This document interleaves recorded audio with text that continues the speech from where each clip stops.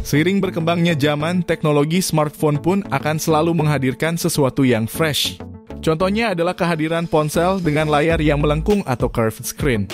Guna fitur ini untuk membuat tampilan layar lebih luas dan juga untuk hadirkan fungsi navigasi.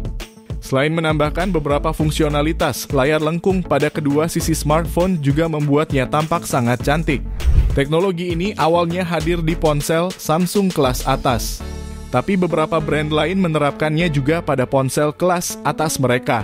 Seiring berjalannya waktu, mulai bermunculan HP dengan layar lengkung dengan harga yang sangat murah.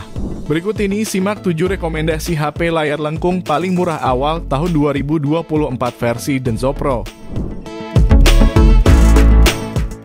Di rekomendasi yang pertama, ada Itel S23 Plus.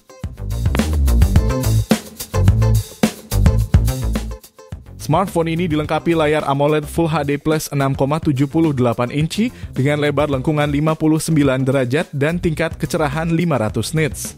Bicara soal dapur pacu, smartphone ini ditenagai chipset Unisoc Tiger T616 dengan fabrikasi 12 nanometer.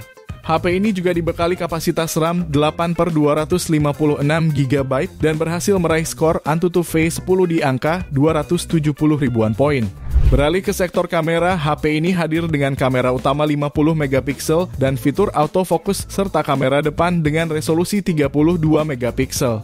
Untuk dapat menemani aktivitasmu seharian, baterai 5000 mAh hanya dilengkapi dengan pengisian daya 18 watt fast charging melalui USB Type-C. HP ini juga dilengkapi jaringan Wi-Fi, speaker mono, adanya NFC, dan audio jack 3,5 mm. Jika kamu tertarik, HP ini dibanderol mulai 2,1 jutaan. Link pembelian ada di deskripsi dan berikut ringkasan spesifikasinya.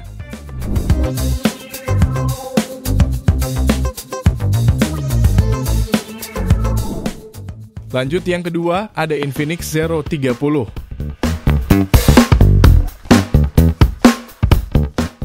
Resmi dirilis bersamaan dengan versi 5G-nya ke pasar Indonesia pada bulan Oktober lalu.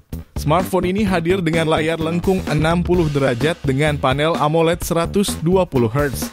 Layar ini sendiri memiliki ukuran seluas 6,78 inch beresolusi Full HD+.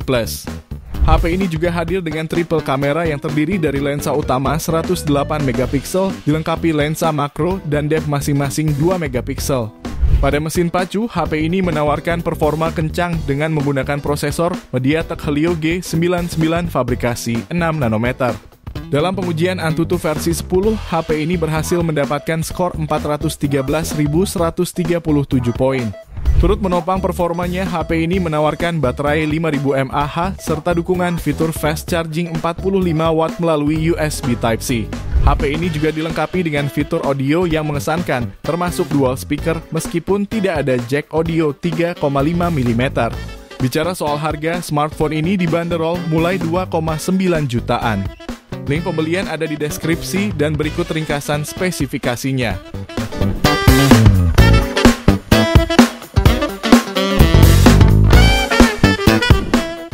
Di rekomendasi ketiga ada Realme 10 Pro Plus. Pada awal perilisan, smartphone ini diklaim menjadi yang pertama di kelas harganya dengan menghadirkan layar AMOLED melengkung 120 Hz. Smartphone ini juga menghadirkan chipset MediaTek Dimensity 1080 yang sudah mendukung konektivitas 5G. Dilengkapi dengan opsi RAM, 8 dan 12 GB dan penyimpanan internal 256 GB. HP ini juga membawa tiga kamera belakang yang terdiri dari kamera utama 108 megapiksel, kamera ultrawide 8 megapiksel, dan kamera makro 2 megapiksel. Untuk suplai daya, ponsel ini ditopang dengan baterai berkapasitas 5000 mAh dengan teknologi pengisian daya cepat 67 watt USB Type-C. Spesifikasi lainnya ialah adanya fitur NFC, speaker stereo, dan sensor sidik jari dalam layar. Bicara soal harga, HP ini dibanderol mulai 4,2 jutaan. Link pembelian ada di deskripsi dan berikut ringkasan spesifikasinya.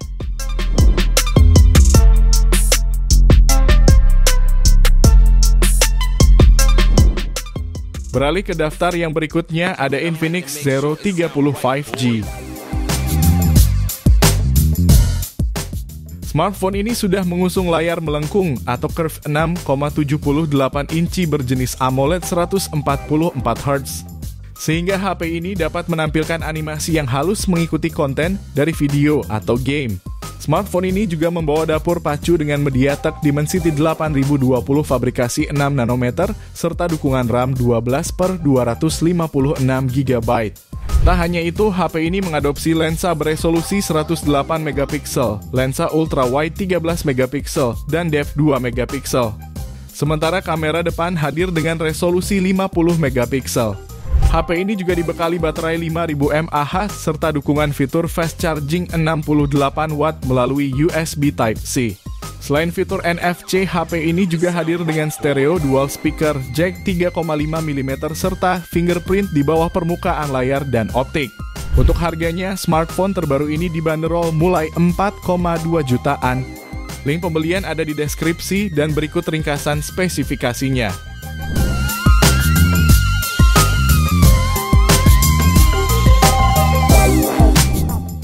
Di rekomendasi kelima ada Realme 11 Pro 5G.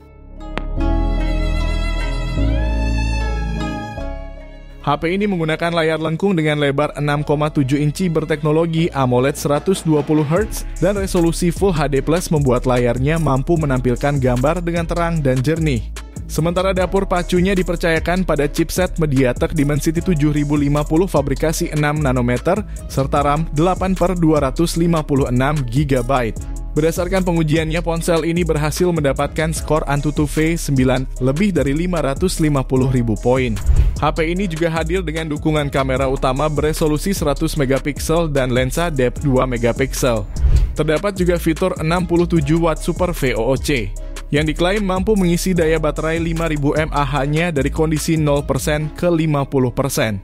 Hanya dalam waktu 18 menit melalui USB Type-C. Dan meskipun tidak dibekali audio jack, HP ini hadir dengan speaker stereo. Bicara soal harga, smartphone ini bisa kamu dapatkan mulai 4,2 jutaan. Link pembelian ada di deskripsi dan berikut ringkasan spesifikasinya.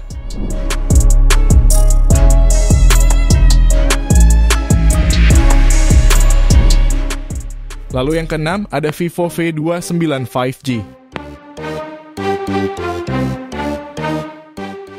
Smartphone ini hadir dengan layar lengkung AMOLED 120 Hz berukuran 6,78 inci serta resolusi super jernih 1,5K.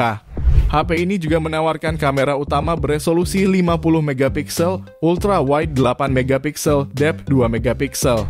Smartphone ini juga hadir dengan RAM luasnya yang juga didukung performa kencang dari chipset Snapdragon 778G fabrikasi 6 nanometer.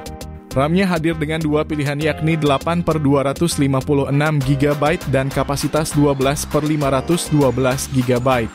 Dalam pengujiannya, HP ini mampu meraih skor Antutu V 10 di angka 615.535 poin.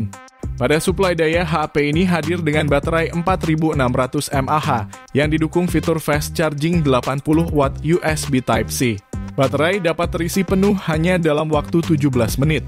Fitur lain yang dibawanya meliputi dukungan 5G, adanya NFC, Bluetooth 5.2, dan speaker mono tanpa port jack audio 3,5 mm. HP ini dibanderol harga 5,4 juta sampai 6,3 jutaan sesuai varian RAM. Link pembelian ada di deskripsi dan berikut ringkasan spesifikasinya.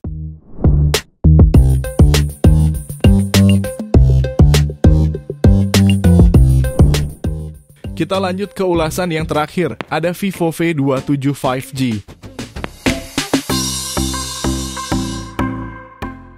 Smartphone ini hadir dengan desain curve di kedua sisinya.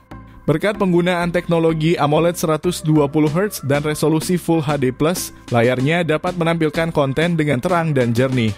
Sementara di bagian dapur pacunya, smartphone ini ditenagai oleh chipset Dimensity 7200 yang juga didukung RAM 8 per 256 GB. Berdasarkan pengujian dengan Antutu V9, HP ini berhasil mendapatkan skor tinggi yang mencapai 600 ribuan poin. HP ini juga sudah dibekali dengan tiga kamera belakang yang terdiri dari kamera utama 50 megapiksel, ultra wide 8 megapiksel, dan makro 2 megapiksel. Pada suplai daya, HP ini hadir dengan baterai 4600 mAh serta dukungan 66 watt fast charging melalui USB Type-C. Selain hanya didukung speaker mono, HP ini juga hadir tanpa audio jack 3,5 mm.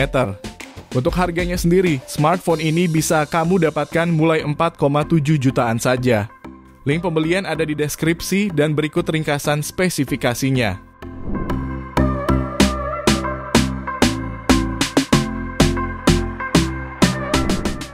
Itu dia 7 HP layar lengkung termurah di awal tahun 2024 ini versi Denso Pro.